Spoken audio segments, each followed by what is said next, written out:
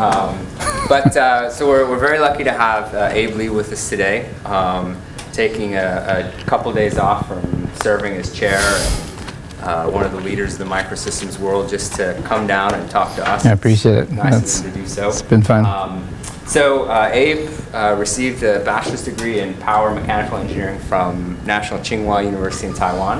Um, did his PhD in mechanical engineering at UC Berkeley. Uh, best public university in the Bay Area. Absolutely. um, and then uh, uh, after that, went to uh, Lawrence Livermore Labs and eventually came over. Uh, did some time at DARPA, uh, NIH, and then joined the faculty at UC Irvine. And currently, as I mentioned, is serving as chair of biomedical engineering there. Um, uh, maybe an even more notable position, he's associate editor of Lab on a Chip. So I invite everybody up after the talk to ask why your paper didn't get. like mine. Um, and also, uh, this- I wanted to make sure I get the name of this award correctly. So in 2009, received the uh, Pioneers of Miniaturization Prize of Corning and Lab on a Chip, and also as fellow at uh, ASME and, and AIMBE. Um, and as I mentioned, recognized certainly as one of the leaders of the microsystems world. So um, thanks for coming to talk to us today. Thank you, Ian, for the kind introduction.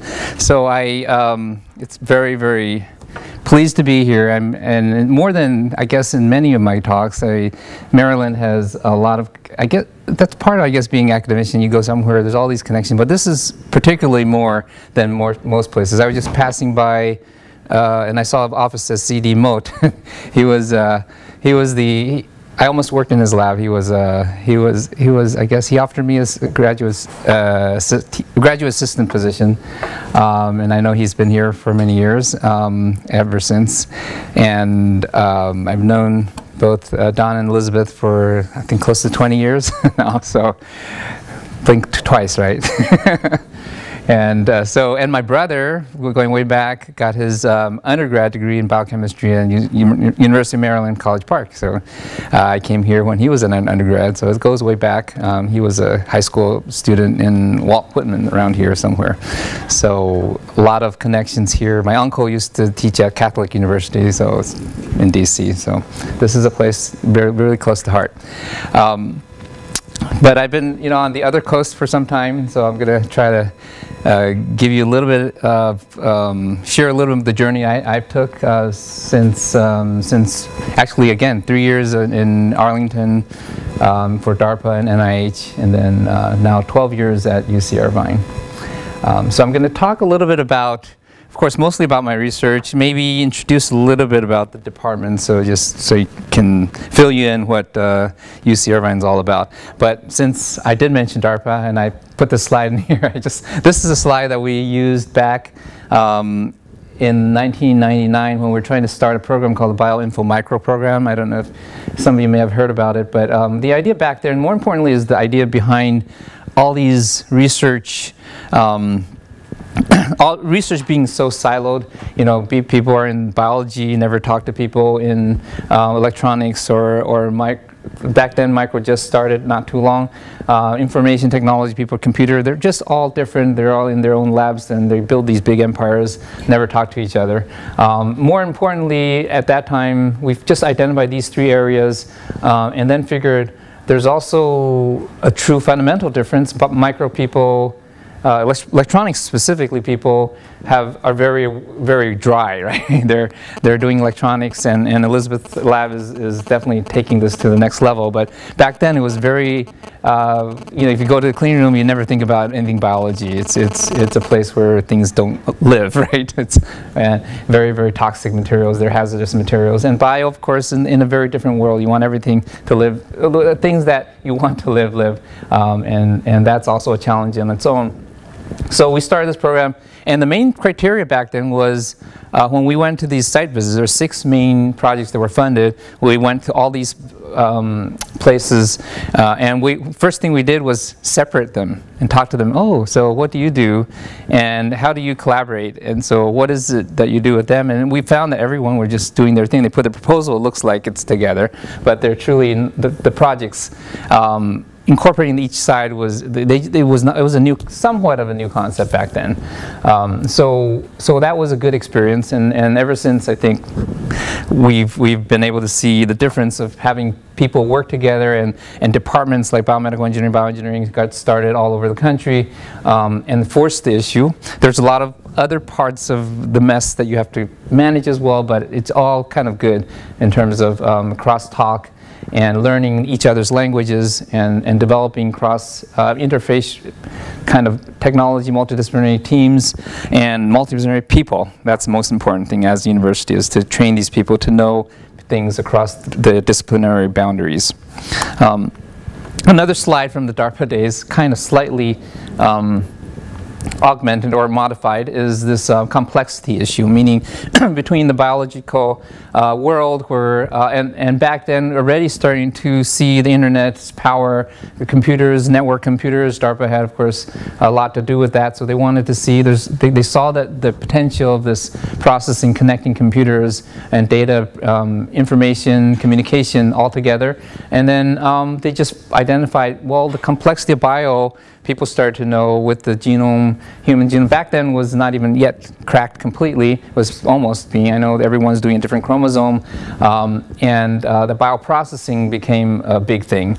And so the complexity of both worlds just felt natural that in the future they will be interconnected and there would be information processors with biological processors, the information go back and forth and it will make a difference in environmental, in healthcare, in computation it's, in itself.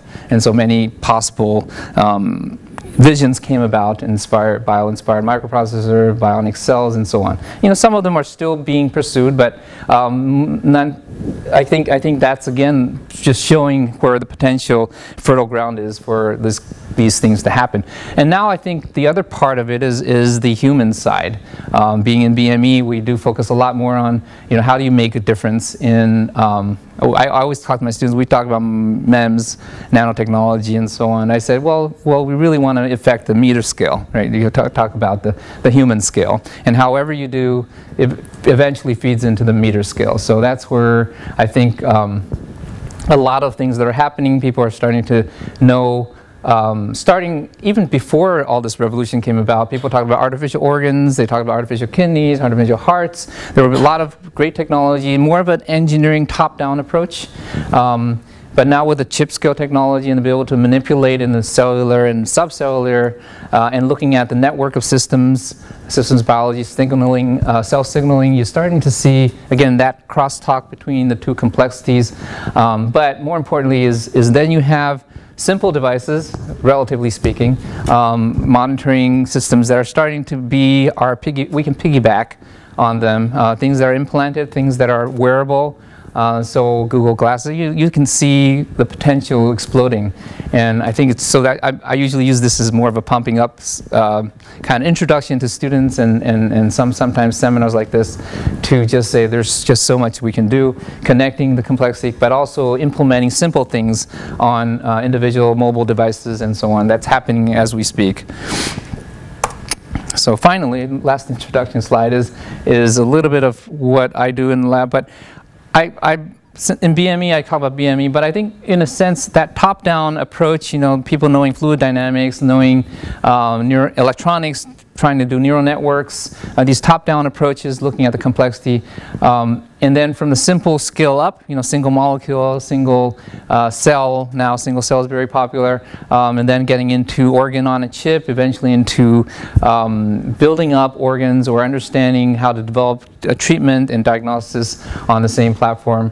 Um, I, I, I, like, I tend to think that microfluidics turns out to be an area I was not trained in. I was MEMS more, more, more or less, but then microfluidics really kind of marries the, the wet side and the dry side very well um, and separates them when you need to and, and, um, and have them crosstalk when you, also when you need to. Uh, so maybe you can a little bit look at uh, microfluidics, I think as the bottom up um, maybe systems, we call systems biology, maybe systems bioengineering. Um, but those aspects I think are starting to be hardware implemented so that a lot of things that we've been doing and the complexity of, of the, of the bio biology can be realized in true systems and verified. Um, but um, I'm, I'm not to say that the things done in my lab, these three areas that I'm going to focus primarily on um, are even even close to the tip of iceberg of all the things you can do. Um, but it hopefully just gives you a picture of what a lot of people are doing, including my lab, is trying to you know look at these little components, these little um, manipulations of molecules and proteins and cells, and all the way up to monitoring devices, uh, drug screening, drug discovery, drug delivery, for that matter um, how it can build up to now start to get close to the devices that, that are being um, you know, already applied to um, healthcare and so on. If I have time, I might talk a little about some of the sample preparation and point of care devices in the lab. So I'll focus first on mentioning bottom up. So um, so this is a field that probably you've heard a lot of many talks in this area, and, and uh, you probably bear with me. There's, there's, some similar things are coming out here. So we started working on droplet microfluidics in when I first got at UCI, partially because I saw a paper in uh, I didn't see Steve Quake's paper. I just saw, actually saw David Weitz's paper before he ever did droplet microfluidics. It was a it was a droplet passing through oil and water. I mean oil first, and then going to water, and then somehow um, you decorated the outside with a lipid layer. And so I thought, wow, that looks just like a well, not knowing enough biology back then, so that looks like, and it's still not knowing, um, a, a, lipid layer around it. It seems like an artificial cell in my mind. Can we just engineer that and just put different things on it? So when I got to UCI, um, I, I continue the work that I've been doing before, which was more in the um, magnetohydrodynamic microfluidics, and, and had a couple things there that went in a different area. Um, but I asked one of my students to say, let's, let's make some artificial cells but, and, and do some kind of this oil-water interface work. And so that's how we got started. He went home, and I didn't have the, I didn't know what material to buy, what surfactant to buy, so he went home and got things from his refrigerator, uh, some vegetable oil, and made some first droplets that way. So that was kind of the, the first level of my lab's experience in 2002 when I started at UCI. Um, but ever since then, the idea was to do this artificial cell, and that was always my, my purpose. I wanted to make an artificial cell that has lipid bilayers, has controlled transport inside and outside of the, the droplet,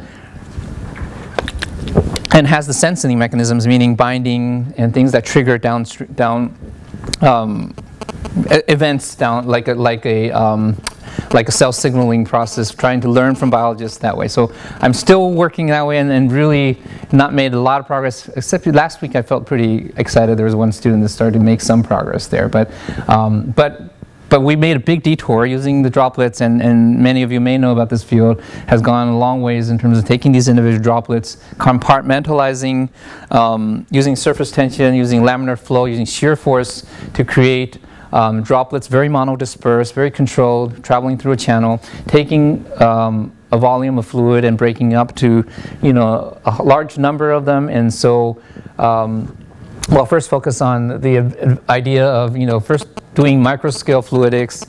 Uh, the first thing you, you notice is the scaling, uh, allowing you to be focusing on the um, laminar flow regime. So basically, your very, very regular flow. Um, I mean, very, very controlled and oriented flow. I, I told students always like a highway, and everyone's everyone's traveling in their own lane and they never cross the traffic. So it's, it's, an ideal utopian world in terms of being a little molecule in this in the stream, uh, or in the sense. Um, uh, but then it's very important to have a lot of crosstalk to be social. So, um, so this has the best of both worlds. When you have them orderly, you can have them traveling, you can deliver things in and they don't readily mix like this actually, this channel shows here. Once they enter the droplets, um, because of the recirculation and the 3D effect, um, you have surface, uh, it, with some control, as you can see, there's these, these meandering um, serpentine channels with a little bit of rough edges, allows mixing to happen rapidly in, in within, you know, a, at least 100 microsec microseconds um, or less. Uh, you can have rapid mixing, so you have a thing that's really, really nice. Your analytical tool, when fluids come together, you know when exactly they mix together, and you almost know exactly when they start to interact or uniformly um, be mixed together. As you can see, they're not completely mixed. The laminar flow effect is still, I guess if you have, I guess we have, oh, this is good. Truly mechanical. Um, not photonic second. So there's the little rings there that laminar flow remnants are still there, and um, they. So again, this is this is a very simple analytical tool that that allow the explosion of many many um, you know applications. So best of both worlds: monodispersed volumes, precise as a result. Um, uniform reactions, rapid mixing, and precise concentrations. So you almost can say it's, it's like generating a, um, a large array that's 3D instead of a microarray where you have the, the surface that's 2D, immobilized, you have 3D, and, and things that are dynamically. Oh, thank you. Uh, yeah, okay. Well, sorry. Maybe I'll do juggling. Um, so, yeah, okay. So this is, this is, these are little droplets traveling in here and you can control some of the gradients that are coming out, um, creating uh, gradient, in this case green and red fluorescence uh, signal. You can have this control gradient, you can redo it, you can change the, the slope of the um, gradient and so on. So a very, very rapid, versatile screening platform for biochemical uh, assays. So you can quickly say sample one, two, three, four, and in the, in the previous slide that you see, you can go up to six or seven in our examples, uh, allowing you to do a lot of very simple things, but very accurately, precisely, and temporally, spatially controlled. Um, so with that kind of process, we were able to, I would just kind of show some old work, and that's the thing about giving seminars that has hopefully have enough time to show many things that we did in the past years. And, um, but this is, this, is, this is early work of trying to generate this array, had, had two, two inlets, so you can control the ramping of two, one going down, one going up.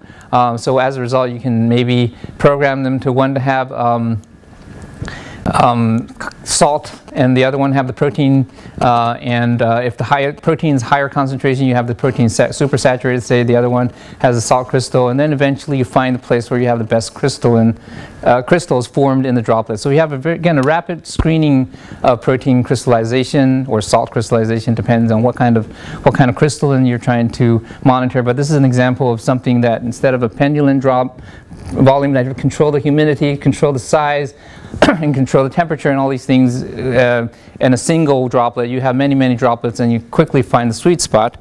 Um, and we took this to many papers actually. I'll show a couple examples of the papers. This is one example of trying to, and people do this again. I, what we did early on, I had some students come in, really um, had some industrial experience. So Albert is an example. He worked in industry, did PCR, he did molecular beacons. And so he knew one thing that people were doing was um, they, when you, when you generate a molecular beacon for detection of DNA purposes, um, a signal to noise ratio is very critical.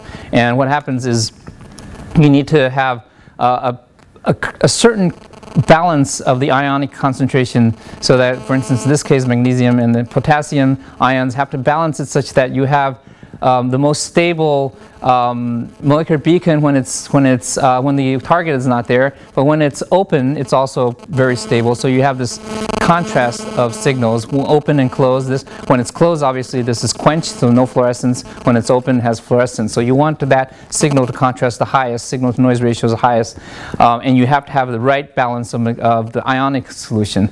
Um, and the process to do that was basically lots. Of, well, in in the words of what Albert was saying, you simply have these titer plates and you have to quickly, you have to mix the right different ratios and then you put them in there and you look at the fluorescence signal uh, and then you find the right combination. There's many, many, in this case, many, many inlets um, that you have to balance them with. Um, so it, we, we had, um, well, we have the molecular beacon, we have the, in, the, in this sense, the, uh, the, these two solutions that have the magnesium and the potassium ions. Um, and uh, we, we basically start to pump them in and ramp the ratios, fixing one at a time, um, and then ramping one of them, and then, and then finding the optimized um, uh, concentration of one ion, and then fixing that, and then going to the second one by, um, by ramping the second one, and, and, and, and so on. So basically, we made this, um, made these charts that looked at the concentration, one going up, ramping one, fixing another, and looking at the, the so-called signal-to-noise ratio, and see how high this first one you kind of get signal-noise ratio going from from a um, the original of 20 up to 82, um, and then you fix that one at uh, this one, this can magnesium, you fix it, and then you ramp the uh, potassium ion, and you further improve the signal to noise ratio to 124. Um, and we verified that with the conventional techniques. Um, so we get, get about um, two orders of magnitude higher uh, signal to noise ratio in 30 minutes of our droplet, just push, push them in, ramp them, and find the right fluorescence. Uh, whereas the um, the conventional way to do it takes four to six hours at least. Sometimes people do it longer. Um, it's very tedious, labor intensive work where this is automated. Nothing too fancy. We're just taking what people do um, in a lab setting and nothing fundamentally new, but uh, something that's very convenient, very good tool for people to use. So that just shows you the power, I think, of, of some of these uh, very simple ones, and you can see many things you cannot do. And I know, I, I know that too, um, and becomes, that becomes the research part of it. Um, but we enabled that. This is another example of taking um, DNA and cationic lipids. So we worked on, we're trying to we had a collaborator that wanted to, that, that's an expert in um, so-called lipoplexes, is for gene transfection, it's a non-viral gene transfection, so it's very desirable in many ways. You don't have to use um, E. coli or bacteria to, um, to house these processes for transfection and, and some of the viral uh, possible side effects. Um, so all it is is mixing the uh, positively charged lipid and the negatively charged DNA um, and having, having them at the right ratios, concentrations, so that you generate these lipoplexes, which are basically nanoparticles of the, of the charge uh, balance between the, the cationic lipids and the, and the, the DNA. Um, so originally how they make it is a process um, more similar to a mixing process, again taking two um, solutions together. When you mix them, um, there's always a heterogeneous or non-homogeneous mixing result, meaning some particles are small, some are big, these nanoparticles are polydispersed, whereas in here you have droplets that are rapidly mixing, so you know again they're separate until they enter in the mixing region. You know when they start to incubate. That means you have a very fixed uh, diffusion distance uh, that has to travel, and you can time it. Uh, so now what you do is you control these flow rates and concentrations, and and arrive at different controlled um, lipoplex sizes. So that size, the hypothesis is if, if a different size of lipoplex is there, it will, it will it, depending on your cell culture, will have a different um, transfection uh, efficiency. And we did prove that, um, which is demonstrated here in this plot here where you have different, um, different sizes of um, lipoplexes that we generated. And you can see there is a different CV, meaning there's different transfection efficiency. And if you have the same size, they all have about the same transfection efficiency. Um, doesn't mean that it's, it's the optimal size. It just means that it's, it's consistent, meaning that the size does affect the transfection. Um, and so all you have to, well, not all you have to, but some, what one would do then is for your transfection agent and the, the DNA you're trying to deliver, you would then ramp, you would then create different monodisperse uh, lipoplexes and find out what is the maximum transfection efficiency instead of what the what we do with the typical kit is a, a handshaking uh, method of generating these lipoplexes and there is a good reason to do that because um, what happens you get a, a, large range of sizes here. You have a polydispersed size. So you have some some that are small some are big. Turns out one of these size ranges might be your maximal uh, deficient delivery efficiency um, size range. And so you might you might end up being lucky and this, this uh, size range within uh, is maximum in your population of sizes. Um, but in the picoliter incubator, you have this very controlled size. Oh, I'm sorry, the, this is not efficiency. This is just the percent of, um, of sizes. So the idea is now I can take, oops, I think this is out. So we do mechanical sometimes does win. Um, so you see that the size here is, is all kind of one single size and, and you can now control the different sizes, eventually do the transfection um, experiments, culture, and find out you know, what is the maximum. Uh, but they would then be size-dependent efficiency. A last kind of example, similar example, is this um, is taking advantage of laminar flow entering the droplet as time zero, eventually getting, um, getting rapid mixing, or at least knowing when the mixing is completed, and you need to verify experimentally at a certain time. Uh, that's when you start to to know when, in this case, it's molecular beacon and target, target gene. And as I introduced earlier, for those that you probably most of you know, but this uh, idea is the molecular beacon normally has a stem portion that's that's binding together because there's complementary strands that are designed into the molecular beacon. And when you when you meet a um, a target DNA that it, it opens up the loop portion, uh, forcing it to open, and the fluorescence then is far away from the quenching molecule so that it will light up. So in this case, we're just saying bring these two molecules together in the droplet, 3D mixing, knowing when it's fully mixed, knowing the diffusion time because it's you, you know from size and, and um, the diffusion rate. Uh, so you know when it starts. That means you have time zero and uh, eventually the fluorescence will start to light up because of the molecular beacons being opened up, and that's a dynamic kind of process. Uh, so you, can see the fluorescence gradually increases until it saturates, um, and we're able to now just look at the dynamics of different DNA, meaning the different sequences. If you have a sequence base pair mismatch, or you have a different location of the mismatch, you will create different types of saturation fluorescence signals. So, um, and again, this, the unique thing about this is it's very difficult to do this any other way because you'll have to have time zero or you have to have a single molecule. And, and single molecule, you have to know when a molecule arrives and diffusion time. So, th so this is a way you can do ensemble, yet do very accurate, um, accurate kind of um, kinetic of uh, binding experiments. Um, the next example, some of you may have seen, is, is again taking instead of one drop coming past past a, a fixed location at a time, you generate a lot of these droplets. Um, the digital biology is an example of, of why it's powerful. Uh, if you have a very low um, abundance molecule, like this big test tube with a little red uh, molecule in there, then you have a certain concentration that's very, very low.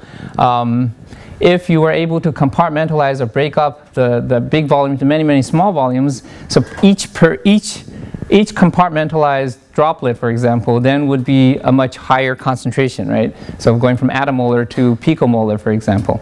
Um, and, uh, and if you were able to control location, meaning that you can you microfabricate, which we can, uh, these droplets to pass through a detector, it don't have to be very high sensitivity detector, you now have increased the, um, the concentration several orders of magnitude higher, so you get a very high uh, detection um, efficiency.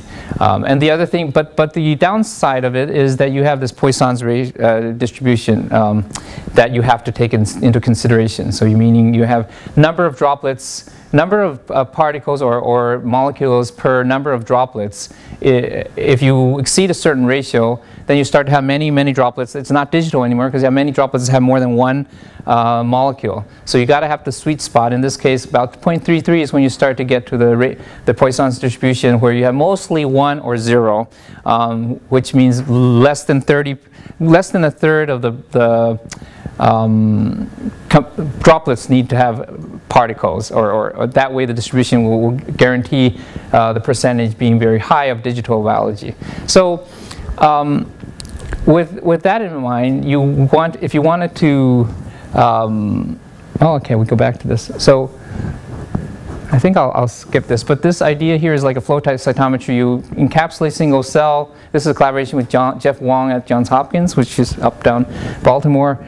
Um, you, you, can encapsulate the single cell, like this is a water uh, analysis project. We took droplets and having single cells um, with, the, with, the, with the low abundance, we can ensure that it's only single cell or none. Uh, we have it co um, delivered with the lysate probe mixture. And the probe, the lysate breaks the cells, the probe uh, attaches to target analyte if it's in existence. In this case, we're looking at 16S rRNA. Um, and then that would light it up. So you can actually look at the results, which is, which is pretty, I, I felt this was pretty exciting um, paper back then. Um, you can not only, first of all, look at the dye, you can put dextran or whatever background in there. Uh, look at the single cell passing through.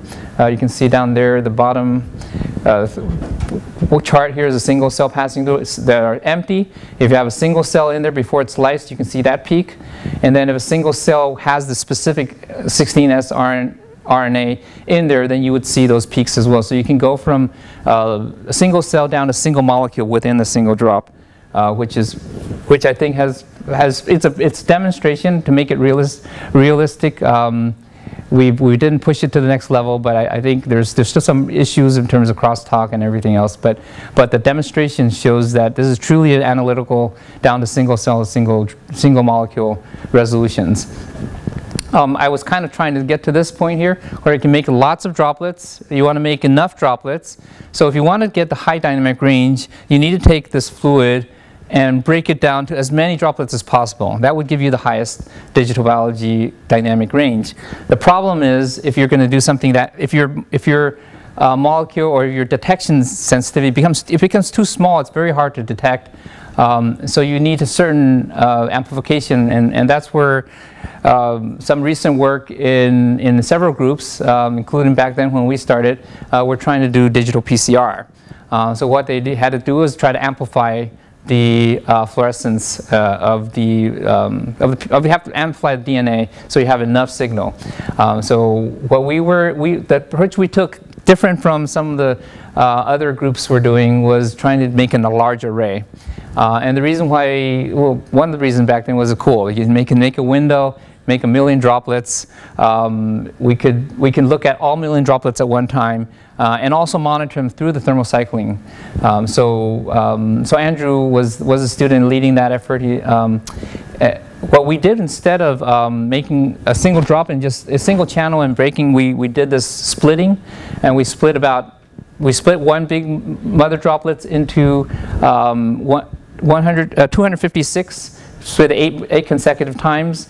Um, because of laminar flow again, uh, you don't you don't have if you even have tiny tiny defects, as long as most of the uh, channels are well done, um, you would imagine there might be some defects in here that would cause. But what happens? We can we evaluated evaluated the the size. It's still within the two percent to five percent uh, difference difference in the sizes, but we were able to generate a million drops, you know, within a couple minutes. Um, and the droplet size that I was trying to get to is the size couldn't be too small because if it's too small with the, with the reagents of PCR, um, they become too small to the effect that you cannot, after, after a while, uh, after a number of cycle, thermal cycling, it start to deplete the reagents to a point where you can't see, I mean, you don't have enough amplification reagents left for the number of uh, molecules that you want to amplify it to. Um, so it turns out that you have to, um, you have to have the size around 50, about 40, 50 picoliters, um, and the size for PCR reagent was 50 microliters. So we were able to get around a million drops, giving us about 26 uh, PCR, and we actually got up to 40, as you might see in the next slide. Oh, this this shows the, the, the droplet generation of a large array. Again, I can make about a million. And back then, with relatively slow generation of the mother droplets, but because of the splitting consecutively, um, splitting and rapid splitting, you can get about a million drops per two minutes. Um, and the other nice thing about it is you're, you're delivering, instead of one nozzle, which creates lots of dead volume and some laminar flow profiles, uh, you can parallelly deliver them into a big chamber like this one, which is three to four centimeters in size. Um, Another thing that Andrew pushed hard was to try to, uh, three to four centimeters, if you do the calculation of 50 micron or so diameter droplets in a 2D kind of uh, plane, 2D plane, um, you still don't have a million drops. So someone did the calculation in their head, like the one on the left here. Um, turns out you have to stack them to get them into that size range, which is somewhat manageable with our imaging capabilities. Uh, so they have to be stacked in, this in the z direction. So you have to have droplets start to stack up and down, and you have this crystalline plane created uh, in a way. Um, but you can't go more than three layers because you start to have overlaps lapping of the fluorescence um, and to the point where you cannot distinguish.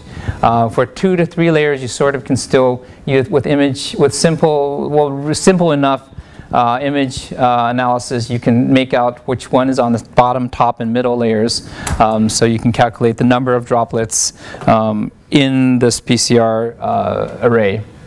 So this is the real-time PCR over each cycle. As you can see the, piece, the fluorescence start to increase, increase, increase until 40 cycles and it sort of saturates and down here is the still images every 15, 20, all the way up to 40 cycles of the PCR amplification demonstrated in this um, platform. It, it's taking only one, one angle so you can see them very individually. Um, however, the camera setup that we have um, allows us to, it's a very simple setup, it's just, but it has a large area imaging capability with a, with a full screen, full, full scale uh, resolution um, camera. It's a Canon camera basically, a CMOS uh, 21 megapixel uh, sensor uh, allows us to get about uh, average around 20 pixels per droplet um, because we're about a million droplets. Um, so um, that way we are able to do real-time PCR, which, which essentially means you're looking at all the droplets simultaneously and looking at their fluorescence increase over that period, over this thermocycling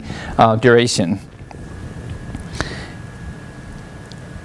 And, um, and this dynamic range um, that we talked about earlier uh, was able to go about five orders of magnitude, going from about maybe 80 or 80 or so um, DNA uh, hits all the way up to around 10, uh, 100,000 uh, DNA and uh, potentially can go up further. There's many tricks that you can play uh, with this platform. But, but I think if someone were to use it, they would pro probably, Ian, right? He would probably be able to look at the thermal cycling, the melting temperature, and all those things that, that might uh, shed more information about the individual DNA and, and the uh, sequences that might affect that fluorescence increase every cycle and look at them in ensemble. Um, so, so once you have made a lot these, make the droplets, um, you start to mix different things into it. Uh, as, a, as an engineer, you start to think, oh, but I need to, there's many more things you wanted to do. Uh, one thing might be if you have certain reactions, and many, many chemists, synthetic chemists, polymer chemists, want to synthesize material in these droplets, they might put in uh, various polymer precursors and then gel them um, or polymerize them. Uh, or if laser polymerize them and so on. Um, so what if you can detect or you can sort them um, based on their chemical endpoint, uh, for example, or even dynamically start to sort them. So these are, many groups have done things. We've done things with electrical impedance, and, uh, and we're continuing to do that. There's, this was one example of where Andrew, there was a need, or there was actually a request, a little funding we got from Lawrence Livermore, uh, my old uh, employer, um, to try to do it passively.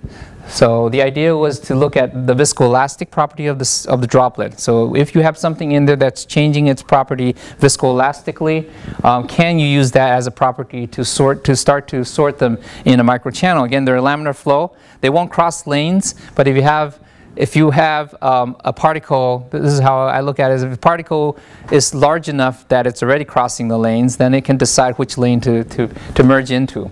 Um, so in this case, we would have um, the PC, for if it's PCR or if it's a polymerization coming through viscoelastic property um, and the visco viscosity ratio, will, we found that, that it, it will be um, the migration of droplet towards a high, high shear versus low shear range, low shear meaning in the middle, large, large, high shear in the edge of the channels, uh, will be dictated by the viscolast vis viscosity ratio and, and whether it's, high, it's highly viscoelastic or, or low viscoelastic properties.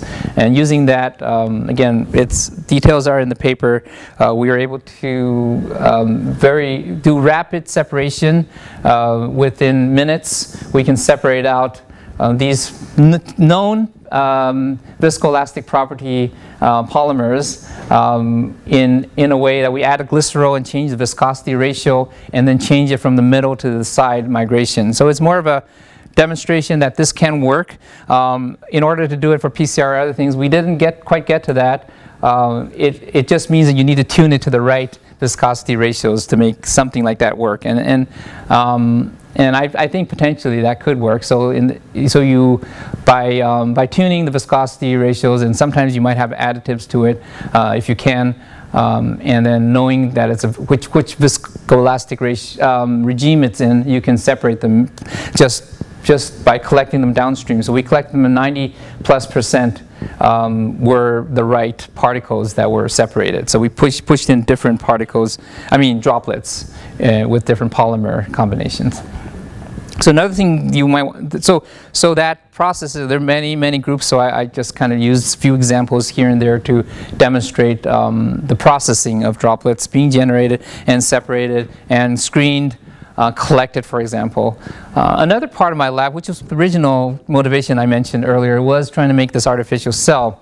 Um, and, and the idea again, was taking vesicles, and what the cell itself has um, has not only the cell membrane itself, but has little vesicles also have membranes, and they're they're trafficking different molecules to different parts of the cell, creating all the functions and many of the functions that are um, happening in the cell. You know. Bringing enzyme reactions to the right place, um, doing targeting or doing synthesis of molecules in different parts of the cell. Um, so long-term goal is hopefully you have different vesicles moving around doing certain things that are mimicking the cell.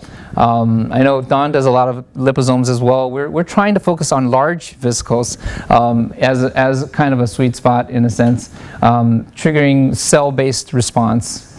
Um, and then maybe hopefully working, um, in some cases we might I, I, don't think we'll, our technology has anything to do with the nanoscale ones, but I think um, one area that might might be interested is, is drug, drug delivery or, or multifunctional part, uh, cell-based sizes. Nice to me, a cell, you can encapsulate cells, cells within the artificial cell, um, and create certain functions that might, might um, allow diffusion or, or membrane to control what goes in and out of that, um, that space.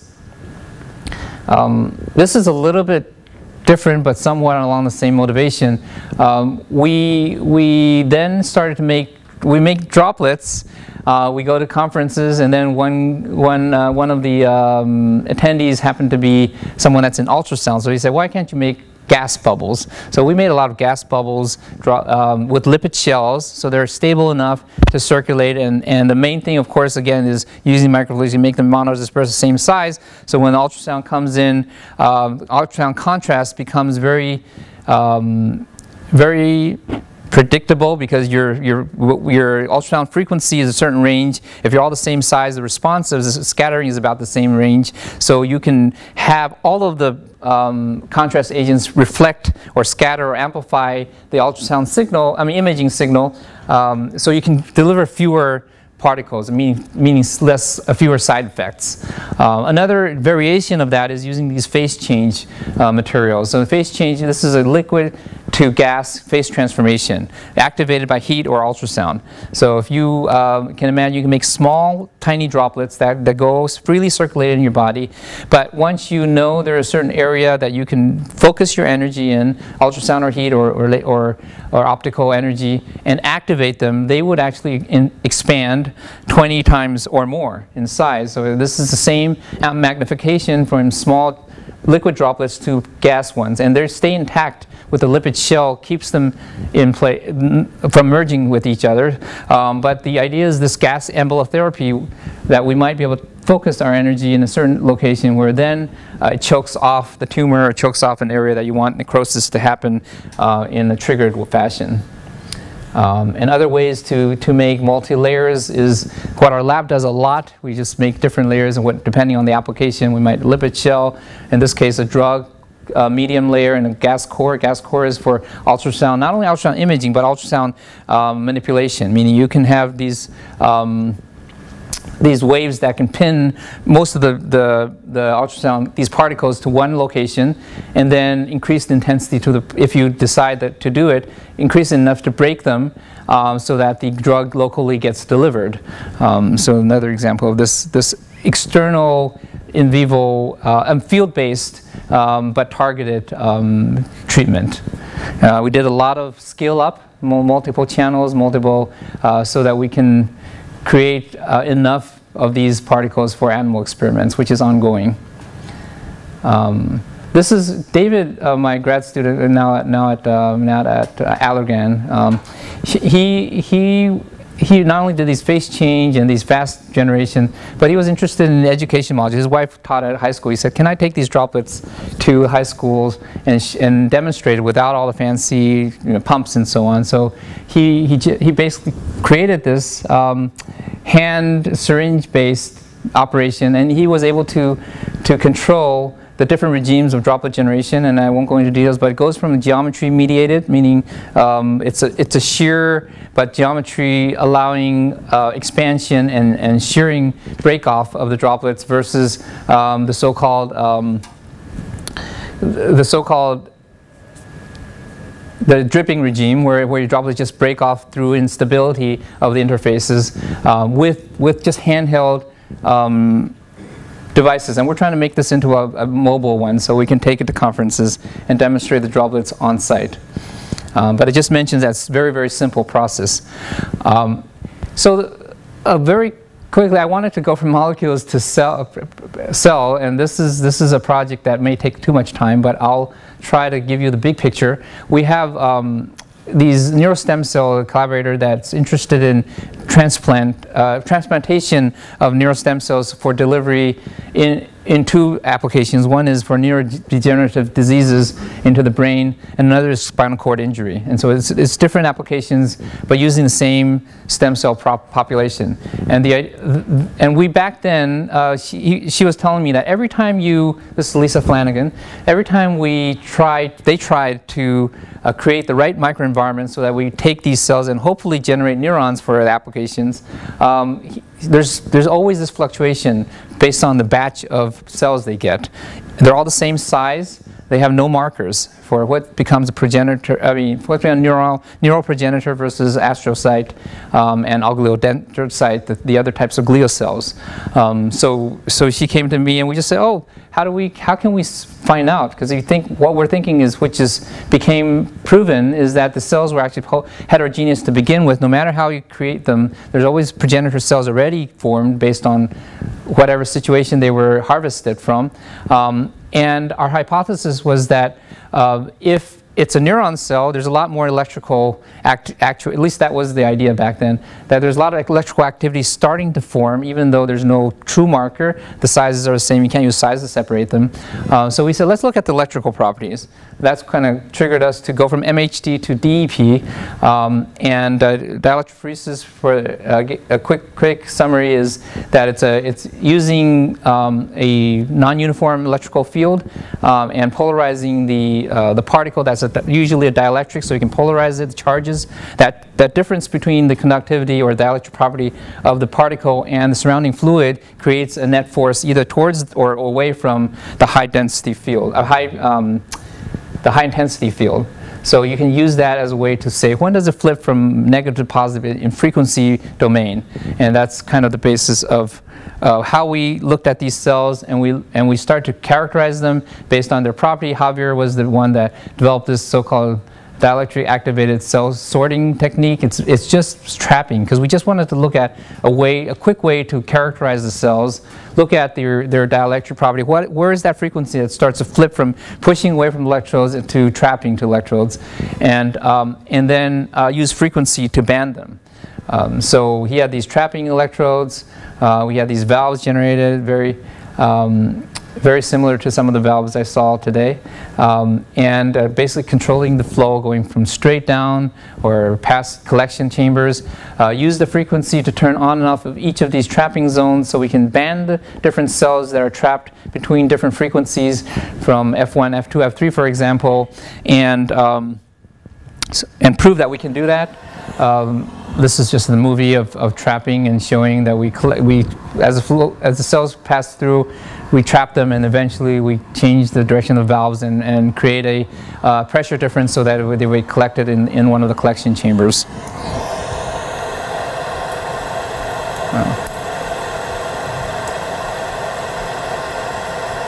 So, um, so we've since taken this to a big sheath so we can do parallel sheath flow and collect them, and we're trying to do, uh, we'll hopefully be able to do animal experiments soon. Um, but we've proven that these small devices give, give, us the characterization, and we had a stem cell paper, a stem cell, the journal stem cells paper, that proven that once we band them with frequency, we, we first delivered known cells that have different properties and, and shown that there are difference in these bands. Uh, then we took all the way to the recent paper where we took unknown populations. We just take whatever harvest cells we come in, we separate them with the frequencies, collect them, and then we expand them and look at what they become, and we enrich the neurons. Uh, and it was the first time anyone could ever enrich neuron cells through these neurostem cell um, through using these neural stem cells, we can we can enrich them, and for so that's that was good. So that means that now you can use its biophysical properties alone to separate, enrich them, and become uh, for for the purpose of transplantation. Um, so they're very excited. They're continuing to get a lot of funding from the California Institute of Regenerative Medicine for treating spinal cord injury and potentially eventually to get to neuro, uh, the neuroregenerative ones. This just shows the initial results that showed enrichment in the in the neurons with the right with a frequency band of 400 to 5,000 kilohertz down the road, which we, we started with this because I'm a MEMS person by training originally, we, we worked on a way to do 2D, basically a continuous flow sorting. This is early, early work, one of my first PhD students. Um, but we, he created this very neat device, kind of complicated, but what it is is dual frequency um, neg negative DP. Negative DP is kind of significant because most of the conductive fluid based um, DP is, pos is um, you, most of the DEP experiments, if you look at the details, they actually have to put in um, low conductivity fluids so that they can create this trapping effect because it's usually naturally negative DEP. So this way you don't have to change your media. You can keep it in the media that's happy with. You trap, let the cells come through. They push the, the DEP field from the top and bottom push each other to an equilibrium point, and based on its dielectric property, it will then, if the equilibrium point is past the central line, then goes topwards, and if you control the frequency, that then the other ones may go downwards, so you can separate cells continuously based on its dielectric property. Uh, we've shown some results. We can switch the same, just switch the uh, intensity, I mean, the amplitude from the top to bottom and do a switch. Everything experiences the same equilibrium point, even the cell different ones. You can switch them one to five channels, uh, or you can have them um, with um, with the same amplitude but different frequencies and that will give you a different equilibrium point and you know you can see the large whiter cells go upwards and the small beads go downwards and this is, this was of course not not the end result we now can possibly take the results that we have to uh, apply towards um, towards the neurostem cells themselves um, we, we started a little late can, we, can I talk one more talk for as long as you want. okay. So I know it's five o'clock, so I know many. If you need to leave, that's I understand. So, um, so this is a project that's it's getting to become a bigger part of my lab, which is, as I mentioned, was doing bottom up. I mean, now we talked about cells, a little bit of cells and, DNA and so on, um, and I do have some protein project as well, um, but this is the, the area where we're starting to get to more complicated uh, systems. So, so it's a collaboration. Steve George, uh, my colleague, um, uh, came to me and said, I want to, I've been working on with another collaborator, Chris Hughes, which is an angiogenesis um, anastomosis expert in, in, molecular biology. He's the microbiology chair. Steve George was our former chair and I'm the current chair. Um, and Steve George is becoming chair at WashU, so he's leaving us, but uh, we're still collaborating. Um, but the idea is to generate tissue on a chip that is much more physiological. And this, at that time, when they started, was not as big push. Now it's a big thing. NIH is pumping millions and millions of dollars in this tissue on a chip area. Um, we're, we're fortunate to ride this wave a little bit. We have good funding from NIH to do this. Um, but the idea is the 3D tissue, not only 3D tissue, but have vascularized tissue, not only vascularized tissue, but have vascularized tissue anastomose to microfluidic channels. Um, the advantage here, or the potential here, is that I can have something much like circulation, well, it's not, not yet, you don't, uh, something that mimics the circulation in the system, right? You have the arterial and the venous side, and then connected by connective tissue, which has capillary beds in there, um, and has this exchange, hopefully eventually, that's much more physiological, much more metabolically um, mimicking our real tissue. So that was the idea. Um, and so we, we set out to do this um, in a way uh, the proposal was written mostly for drug discovery, meaning finding leads and so on, that are much more representative of your, of your um, of the drug that works for you. And it's obviously applying towards personalized medicine because now you can take your own cells, generate iPS derivatized tissue so you can generate your own heart cells, your own um, dermal cells, whatever cells you're trying to look for, um, you can generate. So, so that becomes the purpose now. So it might, uh, the hope is that we can take this, improve it, um, predicts drugs better than even animal models, and that would be a big hit, of course. The, so what we do here is the high pressure, low pressure, generating a, um, a, condition that has mechanical cues and chemical cues. Mechanical cues and chemicals together dictate how well you can create this NS, I mean this angiogenesis or vasculogenesis, creating this vascularized vascular bed um, network that uh, create, uh, and then now what we're working on, hopefully the next paper, a MicroTAS paper will hopefully get in and then get a, get a journal paper, is, is really controlling that connection between, you know, the biological vessels and microfluidic channels. Uh, and we can do it in high throughput. Some of this, uh, unfortunately, there's a lot of details, some of the papers you may want to look at. Um, and uh, we worked through the cardiovascular center. That's why we have this heart-like uh, organ um, but the, idea, the purpose, the, the one thing that we discovered along the way is that we tried to generate these vascular beds um, and we wanted to just uh, Sean, with my former postdoc, wanted to just look at the different mechanical cues um, and see how that affects the uh, vascularization or vasculogenesis is, is, what they call it here with the with the different cells that they seed in there, uh, endothelial cells, um, and the uh, fibroblasts and so on. Um, he wanted to see if I create different Peclet numbers, which is the ratio between um, convection and I mean uh, convection and diffusion, um, what happens? So uh, again, not going into all the different numbers. There's high interstitial flow. This interstitial flow, and then intermediate, and then low Peclet number. And low Peclet number just means it's diffusion dominated, high Peclet number means it's um, convection dominated, and in between means it's somewhat in between. So, um, and what we found, as you can see here, hopefully it's obvious to you as well, this not, not, not completely quantitative, but in this particular graph, but you can see there's reasonable generation of vascular, uh, vascularization here and reasonable down in the low Peclet number, uh, which we call a hypoxia condition, and this is interstitial flow condition, where somewhere in between you would think that both contribute part of it, you would have also vascularization, but that was not the case. Um, so we actually were puzzled for a while. Even my expert physiologists, physio physiology experts in, in, um, in, collaborators were, were kind of puzzled. But later, later our, our explanation was that you, um, you have high interstitial flow in development side when you're growing. You have lots of need, so there's a lot of flow pushing out to grow your tissue. And then hypoxia is like, like when you have a wound, when you have your, your lack of your nutrients and oxygen is de depleted. Um, those are times when the body generates factors for um, creating the blood vessels. But in between, when you're mature like we are, we don't have a lot of growth, new growth of vascular, and so maybe that makes sense. So, but that was a good way, the only way, I think, the thing about this, we send it to science, we send it to these tough journals. No one, no one, of course, accepted.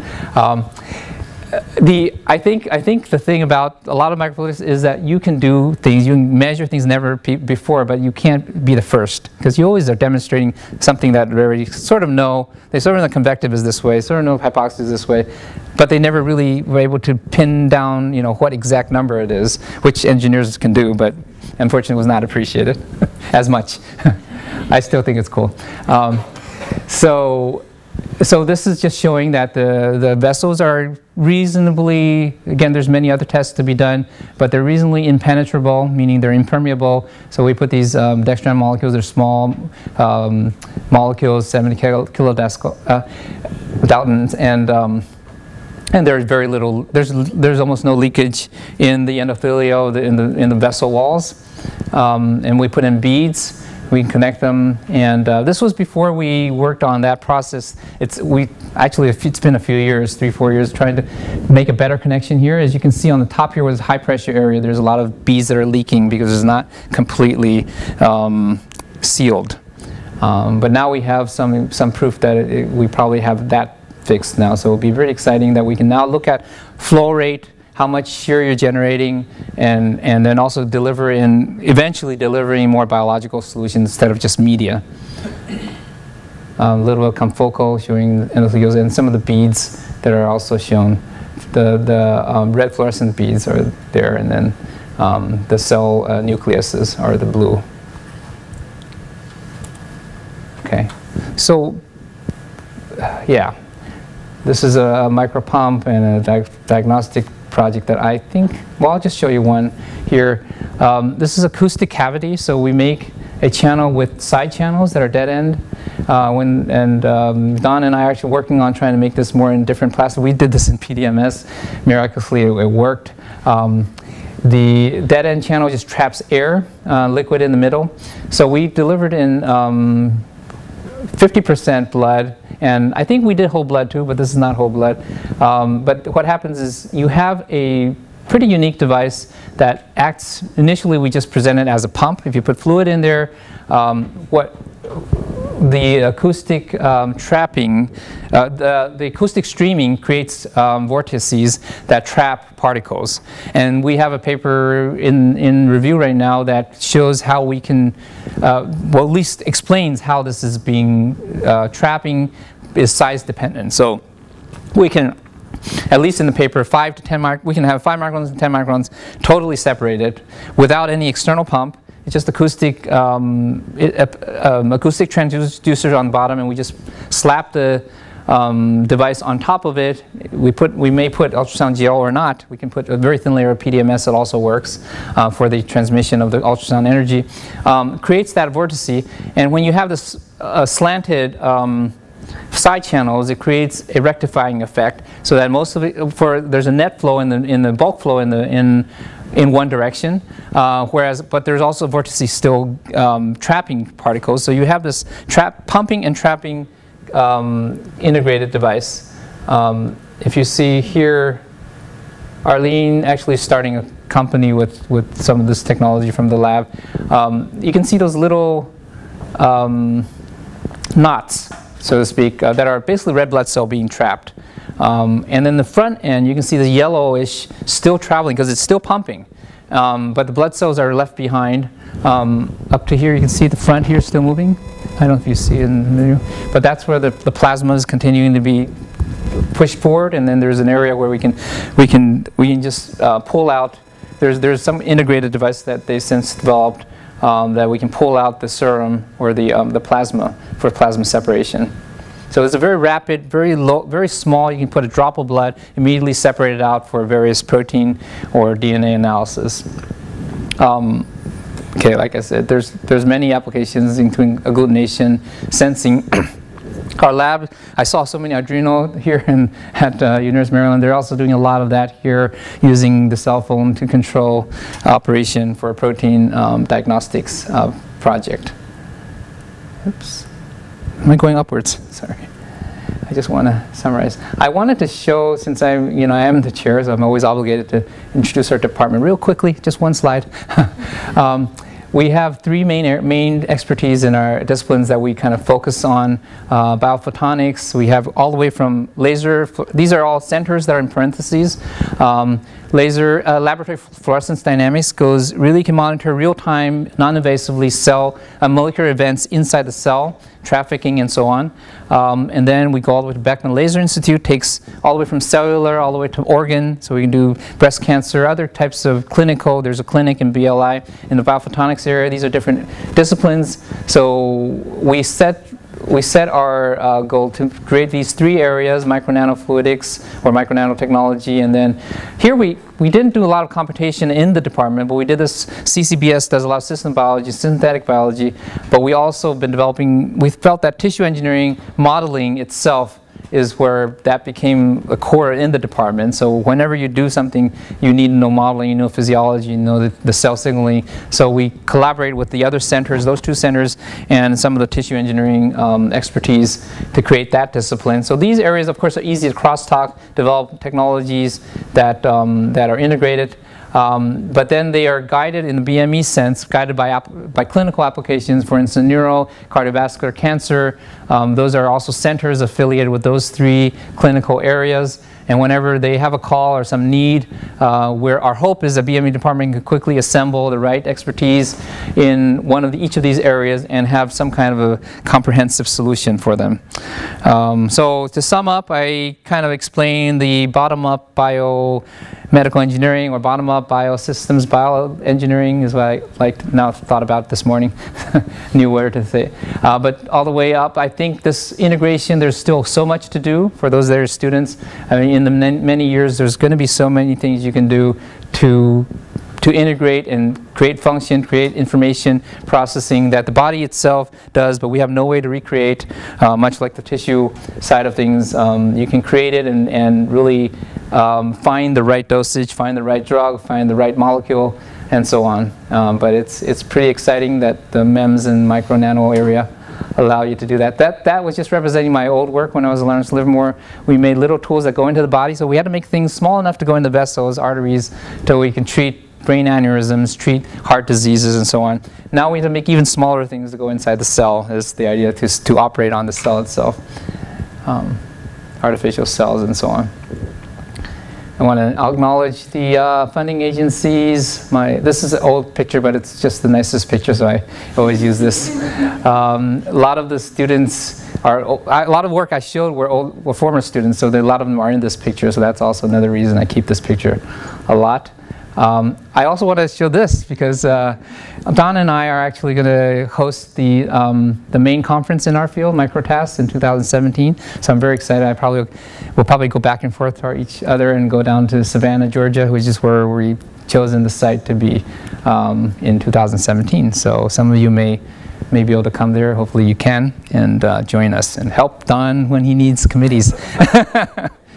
All right. Thank you so much for having me. Appreciate it.